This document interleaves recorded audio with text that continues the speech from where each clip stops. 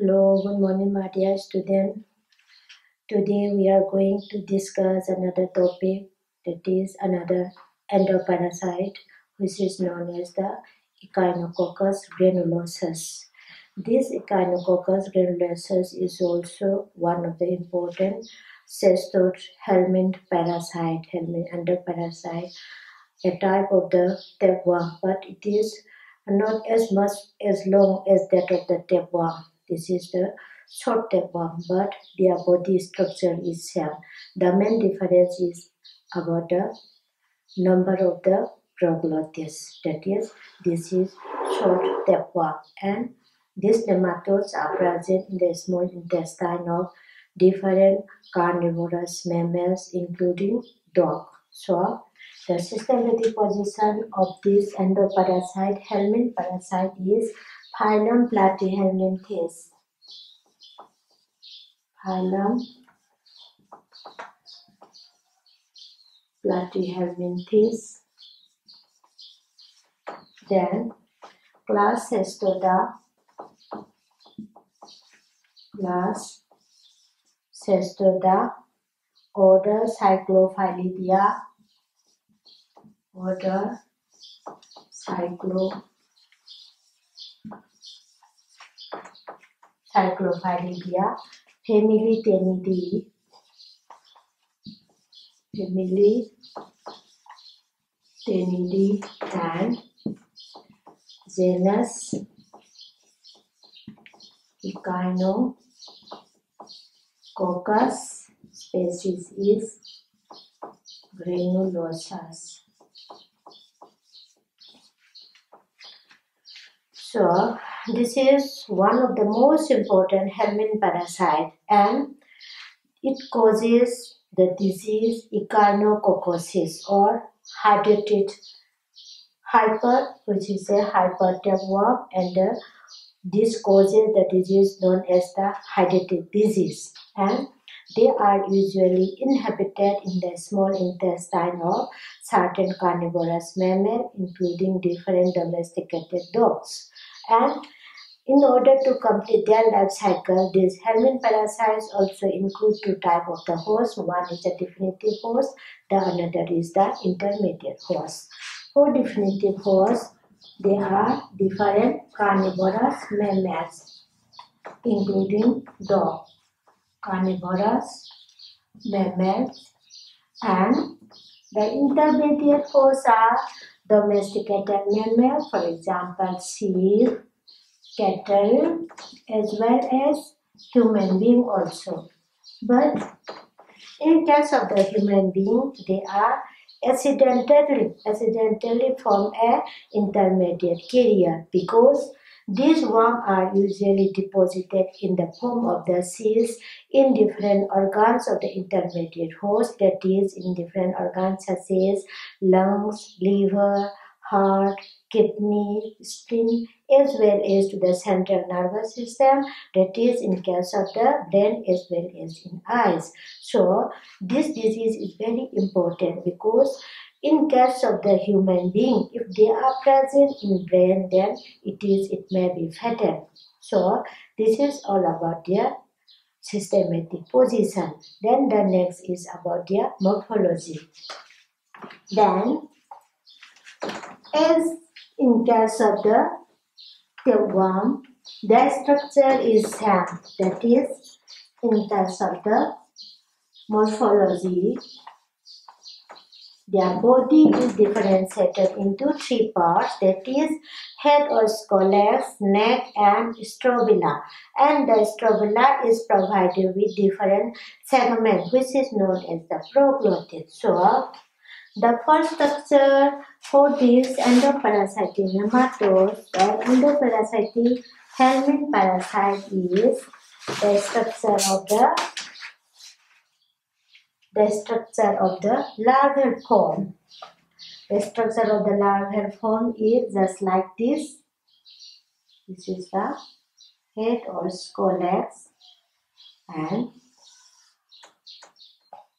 this is the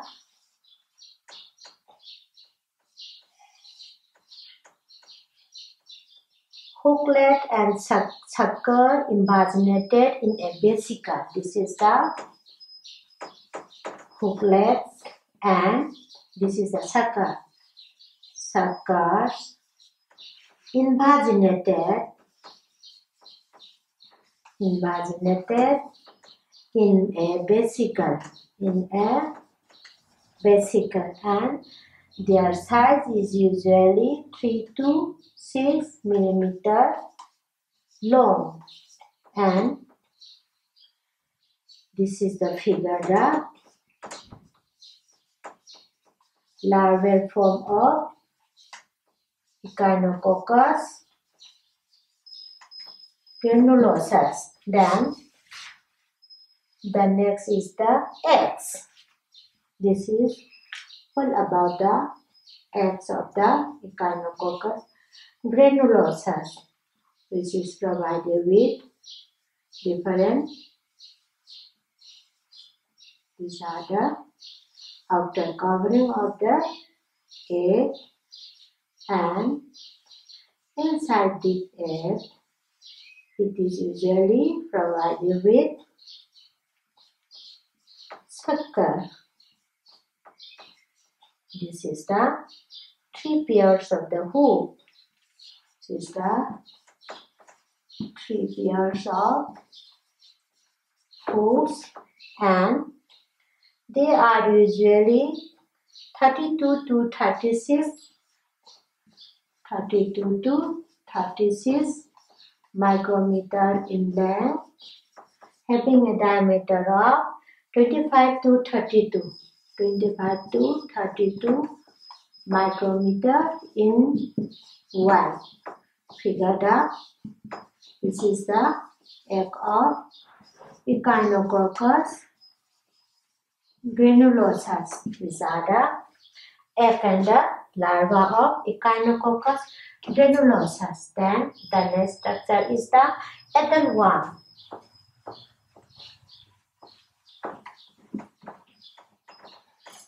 In case of the adult one, this is the head.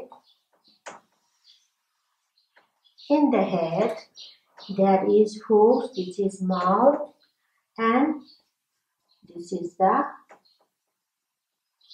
rostellum. This is the rostellum and these are the hooks. These are the, sorry, these are the suckers. These are the sucker and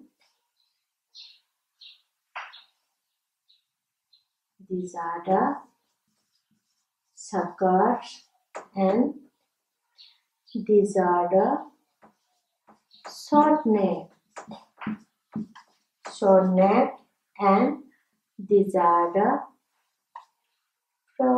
are the segment that is strobila this is the immature segment and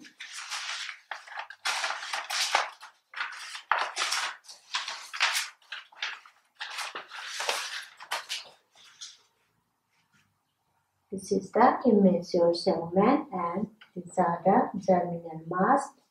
This is the immature proglottis. Proglottis then this is the mature proglottis where the testes and the uterus are usually present.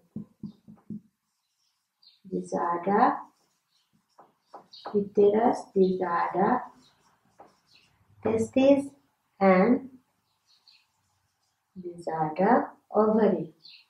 The ovary. This is the mature proglottis. These are the segments of strobila and this final portion is the mature proglottis. This is the internal structure. Oh, yeah.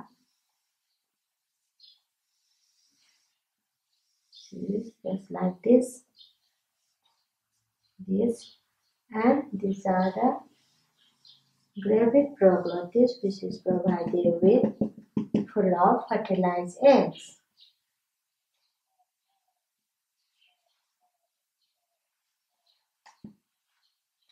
These the eggs and the, this is the uterus. This is the gravid proglottis. Figure the mature of Echinococcus granulosus. So, just like that of the tapeworm, this is also a hydatid tapeworm and the their body has also divided into three different segments. One is the head or scolex. This is the scolex. The next is the neck and the, this whole portion is known as the strobila. The body is divisible into three parts head or scolex, neck, and strobila. And in the strobila, again divided into three regions. The First region, which is just near to the egg, is known as the immature proglottis. The medium one is the mature proglottis, and that the last one, which is provided with fully developed fertilized egg, is known as the gravid proglottis. So, these are about the structure of adult worm. Then this other one may be 3 mm to 6 mm in length. This may be 3 to 6 mm in length.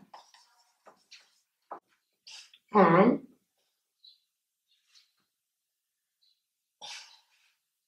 this is all about the structure of then what about the diameter? The diameter having 1 to 2 millimeter in diameter. This is all about the structure of larva, egg and the mature adult worm of Echinococcus granulosus. Then the next one is the, the life cycle. Life cycle of Echinococcus granulosus. Let's see about their life cycle. The life cycle can be completed in two different hosts. The definitive host where adult or mature parasites are present and those larvae which are present in the form of the cysts are present in the intermediate host. That is, the adult worms are usually inhabited in the small intestine the one in the small intestine of dog. The one are present in the small intestine of dog and the egg are passes along with the the egg are passes along with the feces.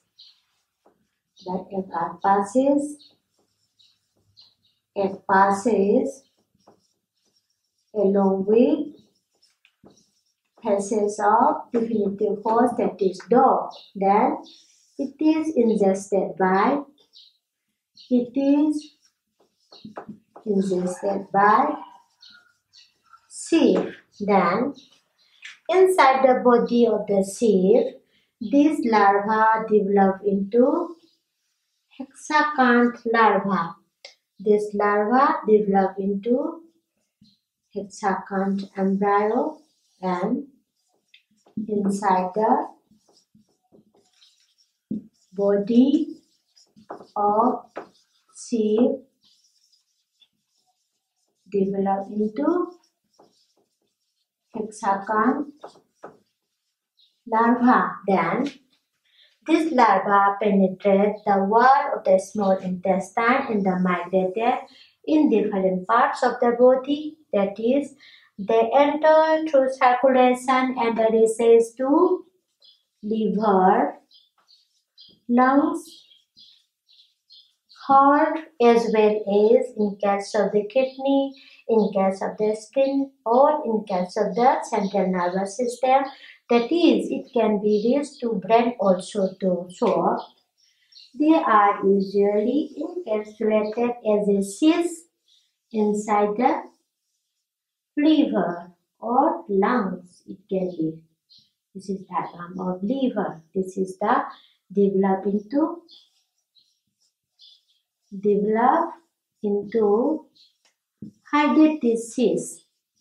Hydatid cyst inside the body of the different organs of the cell. This is all about the life cycle in the cell. It is intermediate force when these infected muscles which is provided with this hydatid cyst is usually ingested by dog. When it is ingested by dog, when such type of carcasses or infected sheep, carcasses or infected sheep is eaten by the dog, then infection can be occur and the life cycle again started and from this hepatitis is developed into adult stage in the small intestine of the dog. This is inside the body of the dog. When man can get infected when this cyst is accidentally ingested by human beings. That is, when the dog, the when from the dog, the the egg usually passes along with the feces of the dog, and this passes along the egg can be contaminated in different watery vegetables in different contaminated soil through different contaminated water.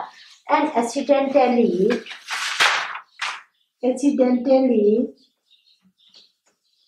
man can get infected by ingestion of air. And it entered inside the body of the human being and inside the human being it developed into and it developed into infectious stage larval form. When the eggs are developed inside the small intestine the hydrated Hexacanth larva develop in the small intestine, then it penetrate the wall of the small intestine and the penetrate the wall of the small intestine and the, it forms in different organ, in different organ such as lungs, liver, heart, as well as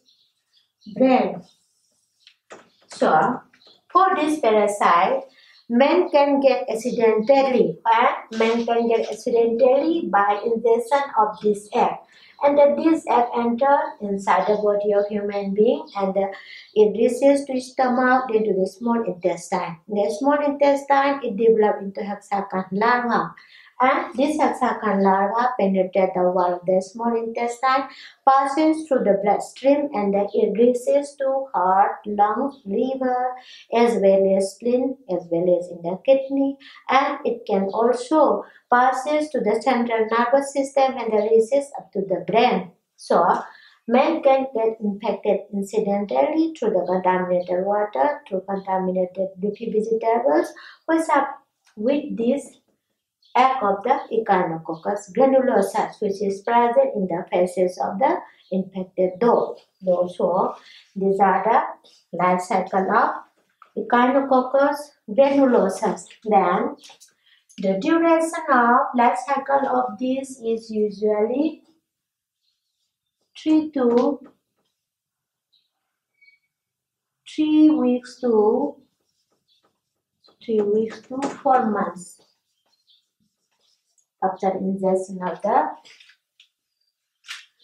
egg, egg of the definitive host and in case of the human being, the cyst can be the cyst can be lived for more than 5 to 10 years when symptom is not developed. These are about the life cycle of Echinococcus granulosus. Then the next is about the epidemiology, that is how this parasitic disease is usually spread from one person to other person and the percentage of presence of these diseases in different parts of the world. It is about the epidemiology of this parasite, epidemiology and the risk factor. Epidemiology and risk factor. Then The disease caused by this parasite is known as the cysticercosis or cystiechinococcosis. Cystic echinococcus is the disease caused by this Echinococcus granulosus or hydatid tapeworm and this is formed by the larval stage larval stage of the Echinococcus granulosus formed by larval stage of Echinococcus granulosus and this is found in Africa, Africa, Europe, Asia and Middle East, Central and South America.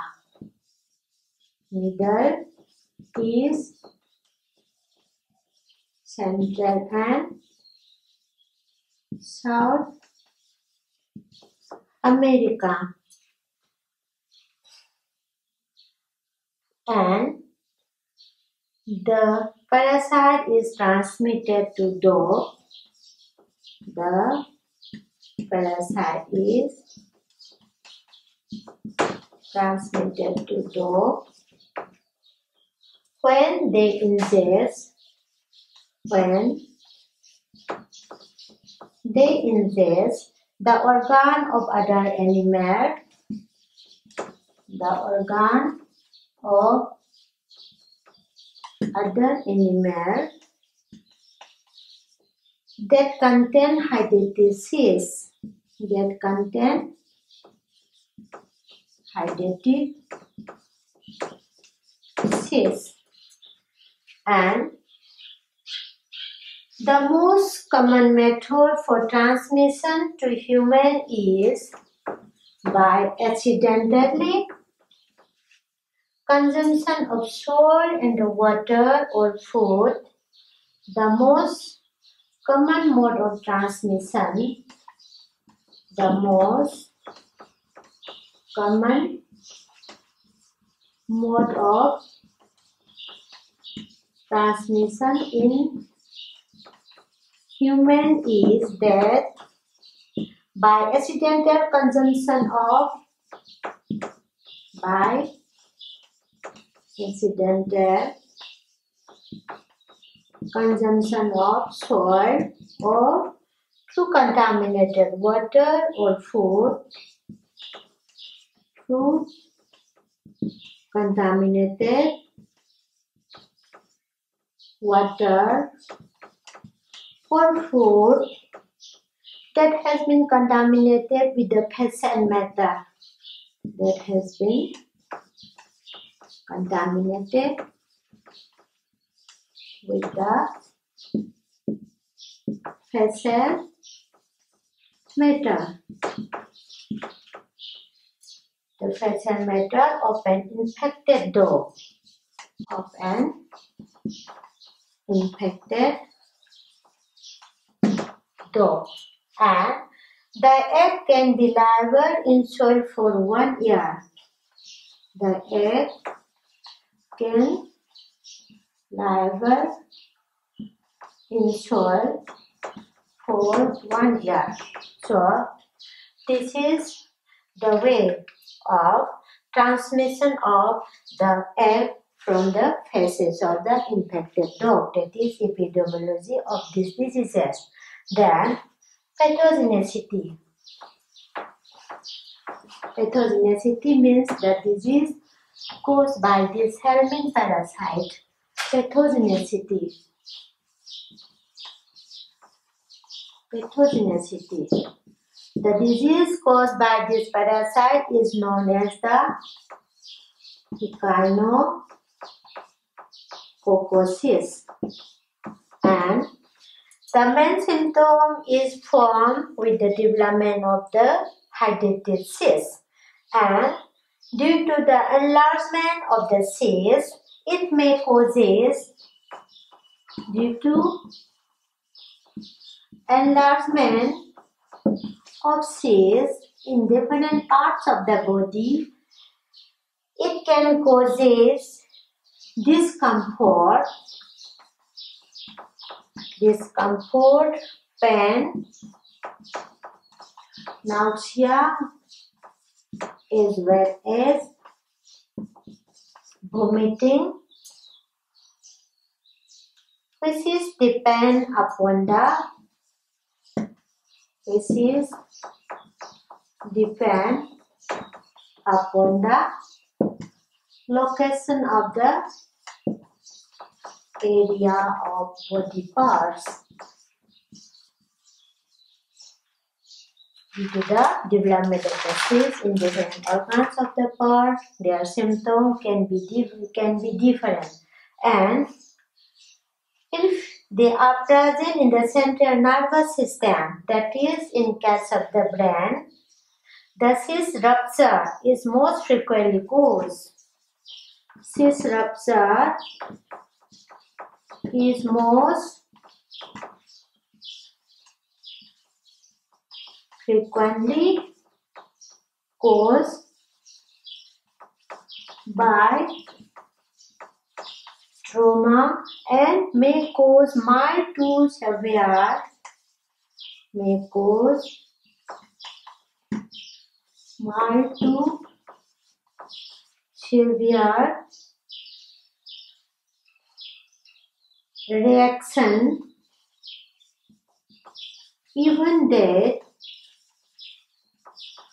even that as a result of the relax of cystic fluid as a result of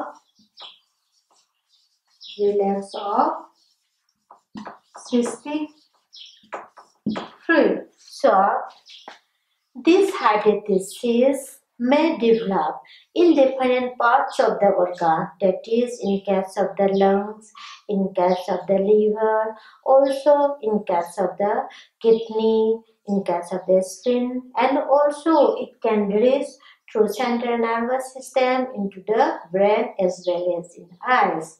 When this system, echinococcus develop in case of the brain, in case of the nerve cell, then it can be give a serious trauma and sometimes it may be even death can, can occur as a result of the relax of the cystic fluid.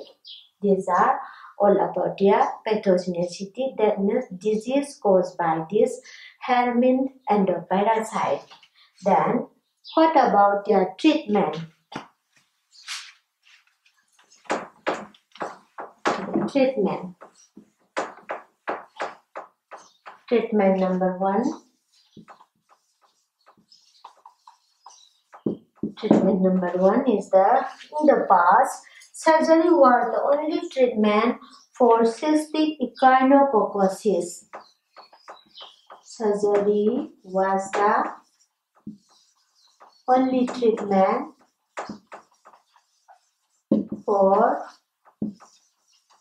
cystic echinococcosis, but nowadays chemotherapy, but nowadays chemotherapy preventive measure preventive measure number one prevent dog from feeding on the carcasses. Prevent dog from feeding from feeding on the carcasses of infected sheep of infected sheep. Number two, control stray dog population.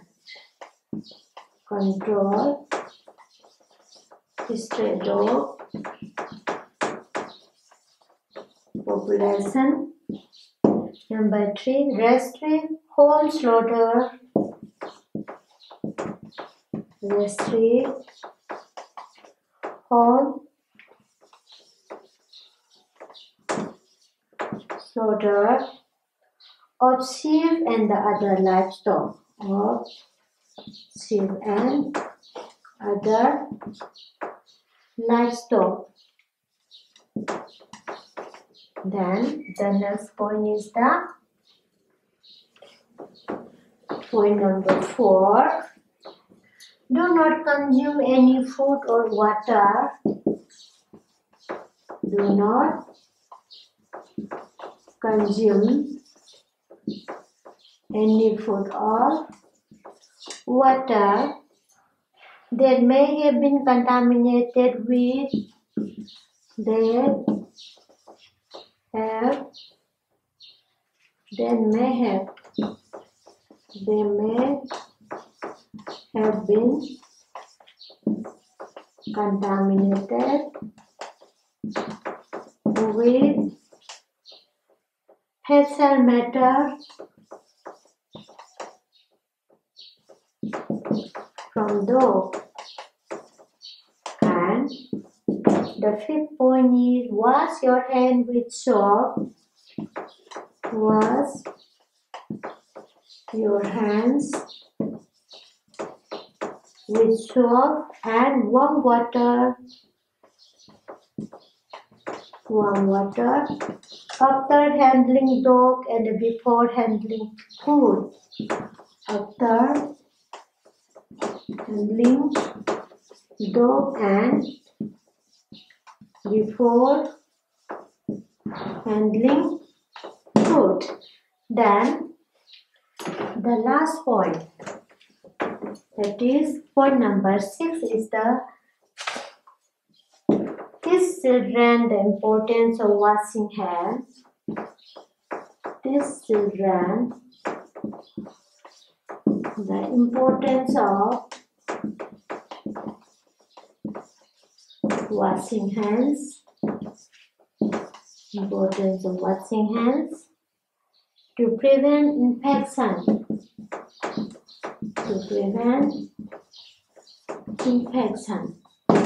So these six points are the preventive measure from this helminth parasite so these are all about the structure and the life cycle.